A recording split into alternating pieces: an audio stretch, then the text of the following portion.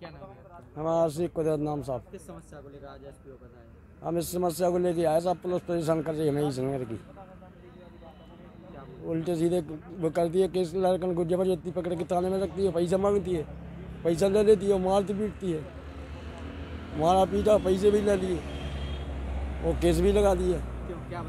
कोई वजह नहीं साहब कोई वजह नहीं बता देगा इस वजह से हमने गिरफ़्तार किया या मतलब इन्हें पकड़ा। कब से कल पकड़ा इन्हें आठ, सात तारीख को।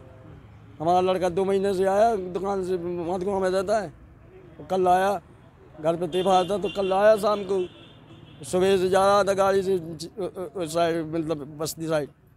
तो तालाब पे जा रहा था बर्फ़ उठाने के लिए।